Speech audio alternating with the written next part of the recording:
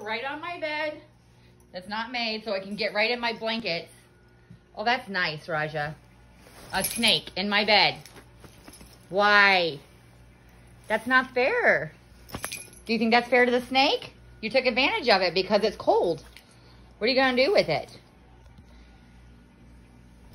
Oh, I was going to get it and you scared me. Let me get it. It's going to bite you. Oh, my goodness. Hold on. Can I have it? Can I have it? Uh. Ugh, now I can't get its head. Raja. Okay. This is what I would... It's going to bite you. Hold on, baby. Would you stop? I'm not just going to grab it. Come on, let me have a turn. Oh my god.